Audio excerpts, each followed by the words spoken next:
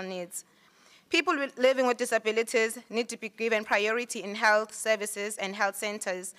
It is felt that um, nurses still feel like it is too much work dealing with people living with disabilities, and they treat others before treating them, treating them because they are related to them or whatnot. They don't give them a priority. Yet getting to the health centers is a challenge.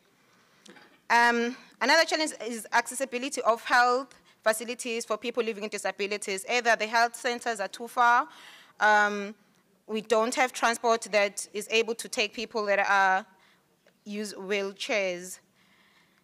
Uh, so government, this is um, a success. Government has hired a dermatologist that specializes in dealing with albinism. However, there's only one doctor in the country. Uh, there is no